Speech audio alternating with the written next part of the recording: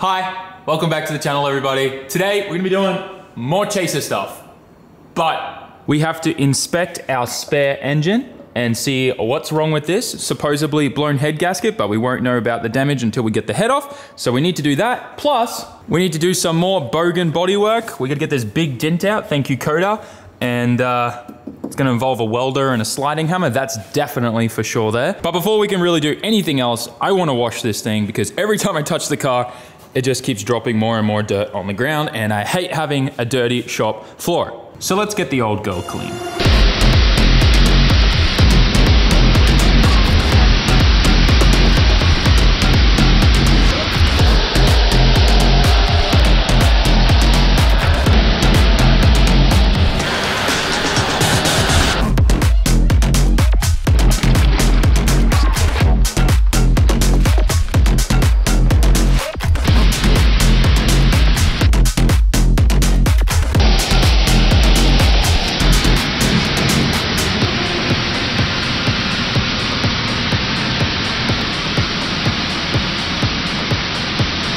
This thing definitely tidied up nice. Definitely don't think I've seen it this clean in a very long time. Maybe when we bought the car, it was this clean. but to be fair, FUC missiles generally don't get washed properly, that's for sure. Um, but yeah, now it doesn't have any of that dirt or grime stuck to it everywhere, which means while we're working on the car, none of that's gonna fall off and get in my face or anything like that, or dirty the shop up. So while this thing's outside drying, we're gonna get onto another task. I'm gonna build myself a cart.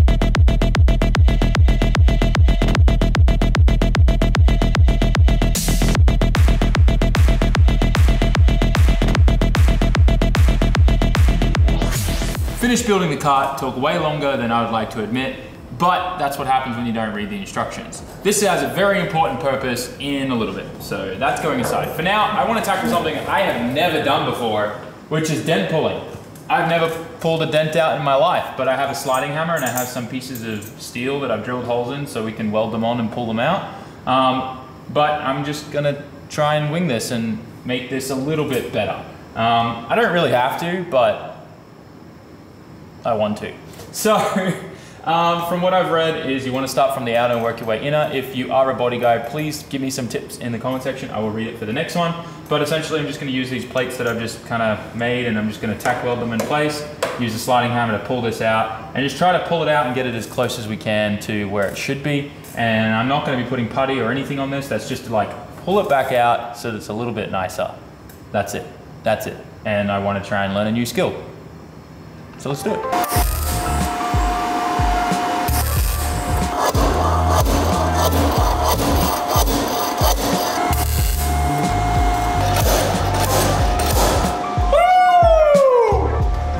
Yo! That just pretty much pulled it out. Dang! Body Master Sam here. Nah, I'm joking. This is far from what an expert can do. But it's freaking working. This is sick.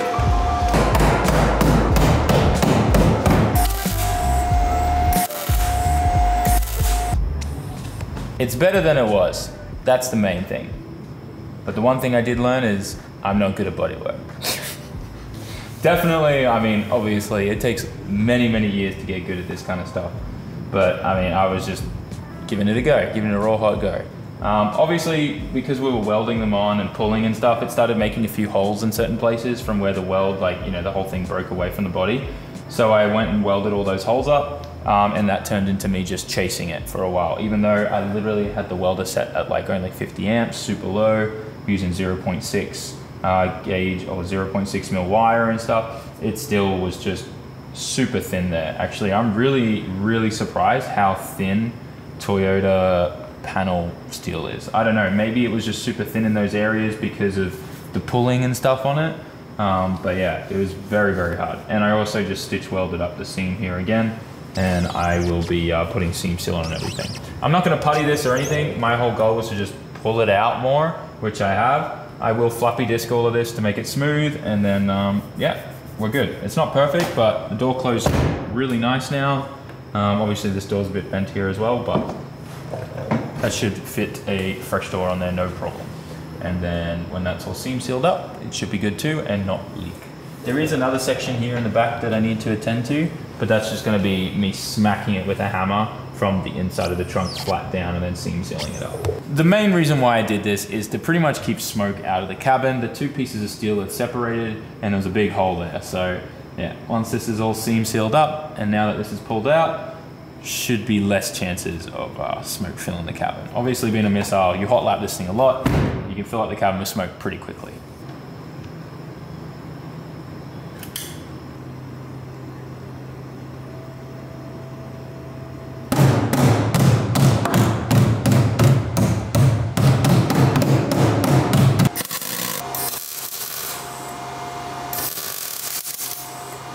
ADHD things. Um, I said I wasn't going to do it, and then I looked at it again, and it bothered me. So now I've already fixed this part that I wanted to do later on, and now I'm fixing the rest of this seam up. I've just bashed it all up, ready to seal, and I just started putting this new rust converter on here that I got. That is just incredible. This used to be rusty. Look at it. It's all now just like turned straight back to steel, and all this is getting turned back to steel. So it's just like CRC's pro grade rust converter. It pretty much just smells like pool acid, but I mean, it probably is just that. But yeah, it's doing a really good job. It's like melting the rust off in certain places. It's kind of crazy. Like here, you can see it just dripping down the rust. Kind of nice. Taking a quick moment to remind you guys about the Nissan Stagea we are giving away here on the channel. This thing has an RB25 turbo in there, a full station wagon, but with an R34 GTR front end on it. It's probably one of the sickest wagons out there, and it could be yours. The best thing yet is that it is 25 years old, which means it's eligible to be exported to the USA, and that is why we are doing this. We're actually covering the cost of having this car exported to the winner in the USA, so best of luck, everybody. Every $1 that you spend on Sammit.net will get you automatically entered for a chance to win this Stagea.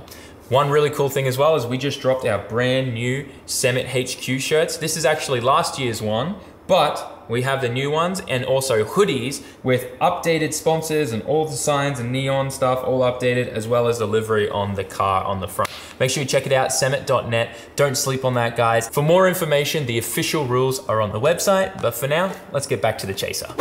Just taking my little 1J for a walk. It's a little heavy. So I bought this motor as a spare motor. My plan with this is to rebuild it and have it as a backup engine for the Chaser. The, the engine that's in the Chaser, um, it's a little low on compression. It's all even though, so it's just wear, normal wear from it being drifted non-stop repeatedly and heat cycled so many times. Um, so this is going to become my backup engine for that. But I need to figure out if it just needs a head gasket or a full rebuild we, if we're super lucky, just a head gasket. If, um, you know, I guess what I was expecting was that it was definitely going to need a rebuild, but it'd be kind of cool if it was just a head gasket. But if it is a head gasket, then I'm worried if water's just been chilling in the chambers for a long time now. But plugs are all still in it, and I don't know. Everything I've looked at on this engine and stuff, it doesn't look like it was a head gasket, so let's pop the head off and have a look. I've never pulled the head off a 1J before, but we're gonna do it together. And that is why I got this car.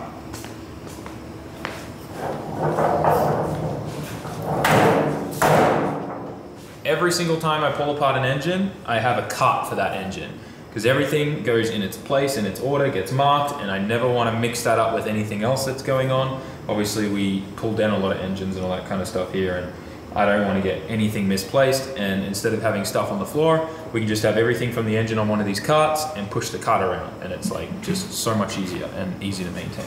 So I'm just going to look at this for a little bit and figure out what's the first thing I need to take off. And it looks like I just need to undo the oil feed for the VVTi, valve covers off, I think camshaft's out. Um, I'll probably just cut the timing belt because stuff taking that off down there. Just want to get this head off and see what we're dealing with.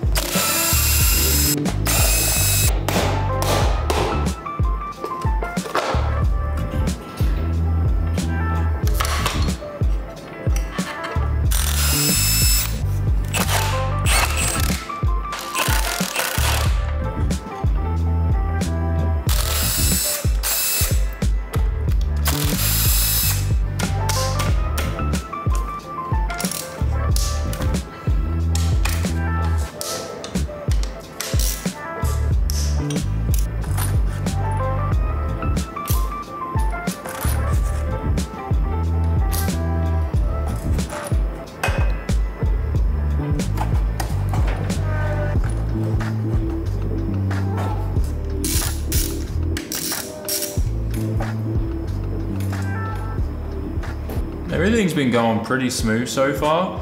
Um, other than the engine just looking like it didn't really get serviced regularly, um, that's pretty much it. But you got to realize a lot of these engines came out of cars that were, you know, grandpa spec cars. Like Toyota probably never thought that people were going to start drifting the JZX 100 chassis. Um, and they were just kind of more of like a catered to old people car. Um, so yeah, I don't think many of those people ever did oil changes. but yeah, anyways, um, everything's looking pretty good. I'm actually pretty impressed with a fair few differences about the JZ compared to the RB. Um, just things like this, like the cam caps are held in with 10 mil bolts, just like the uh, the RB, but the thread is like an M8 instead of an M6. That is beefy. That is a really good upgrade. Um, but obviously, I can't give the credit to Toyota for that because Yamaha was all outsourced for their JZ stuff. So, or and their three three SGEs and all that kind of stuff. So, anyways, um, I'm gonna keep working on this. I think I've got to take the water pipe off, uh, the water neck off, and I think that's probably it. Then undo the head studs and heads off. Should be pretty straightforward from here. So we'll zip that off, zip those out, and then we'll find out how bad the damage is.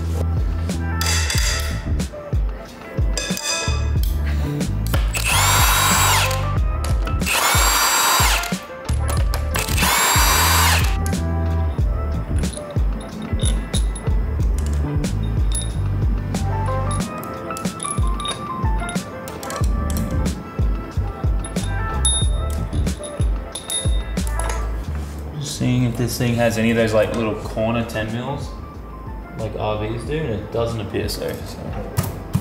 Oh, it's already loose. Oh. The cardboard ready to sit that on. I guess it's just gonna lift straight off, eh? Just like that. Huh. And you know what? This looks really healthy. Um, I don't really see a head gasket issue though. Or maybe, no. Huh. Just triple checking, but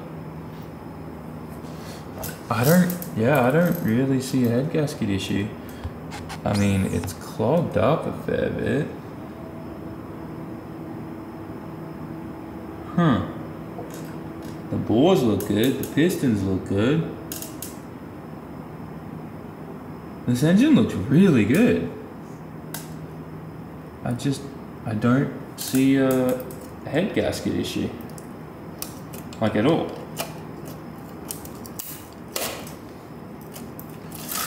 Nowhere on the gasket does it appear like it failed or like breached.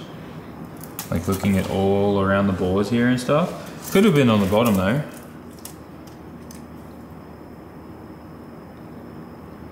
I don't see anything.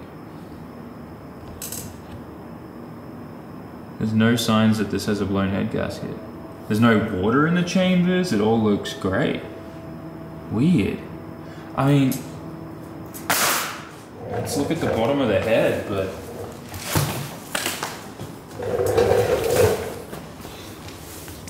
Looks great. Like I don't see anywhere here or anywhere around here near these water jackets where it got into combustion. Like at all. We'll send the head off and get it cleaned and decked. But it looks like we just scored ourselves a good engine. Like actually a good spare engine. kind of wild. There's literally nothing wrong with this. I mean, it's a little gunky. Needs um, a bit of a clean. It's not bad. Usual, usual one JZ stuff. I see, like literally, there is no, no signs whatsoever of a head gasket issue. Weird. The shop he had it at um, told him it had a blown head gasket. Maybe it did. Maybe it just was so early that it wasn't showing really any signs and wasn't bad. It's just weird. Like, it looks good. like really good. The cross hatching and the bores are amazing. This is a really healthy engine. Weird. I'll probably still take the rods and pistons out and just inspect them, make sure the ring lands are all good and stuff. But you know, 1Js are pretty stout, so even stock rods, stock pistons, like they're pretty good. Hmm. I think this is going to be probably a good block and no problems. Just trying to see if there's anything, but looks really good. I'm actually really happy about this. We could, um, you know, put forged rods and pistons in this since we're going to be, you know, refreshing it anyways. It's probably not a bad idea just to have it forged so that it's, you know, good to go. Um, I know Tomei Japan, Tomei Powered is about to have brand new set of um, 1JZ pistons. Previously, they haven't made pistons before and they just do rods. Um, but because you can't get these pistons anymore brand new from Toyota, they decided to um, manufacture them. So we should probably just put a Tomei set in this. They're just right around the corner, so it'll be good. But yeah, interesting. I'm, I'm kind of confused because I got this motor way too cheap then. I mean, I'm not complaining. It's just really weird. Really weird. There's no signs of a blown head gasket at all. Huh. Weird. None. Like none. I, this looks perfectly fine. Super weird. Today was full of a lot of wins in my opinion. First of all, can we talk about how there's nothing wrong with that 1J? I feel like taking the head off was not even necessary, but obviously I was told it had a blown head gasket. Turns out it doesn't. So that's a win. I'm just gonna refresh it and probably just slap it back together. Although I am very much fighting the urge of forged rods and pistons. But anyways, we'll, we'll see what happens with that. Um, but yeah, the engine in this is still chuching and still good. So my idea is refresh that one, put that one in this. Um, not not for um, this material coming up, more so next year, like through the winter, we'll probably do this the engine change. Um, take this engine out and build this engine um, with forged rods and pistons, and then that can go into something else or just stay on the side as the spare engine for this. You know what I mean? Um, but yeah, anyways, a lot of wins today. We obviously fixed up this. Sure, I'm not the, you know, uh, great at bodywork. I think we can all agree on that. But if anyone does have any tips or anything like that who does this for a living, please let me know. Um, like I said, all of this is covered by the full over fender here.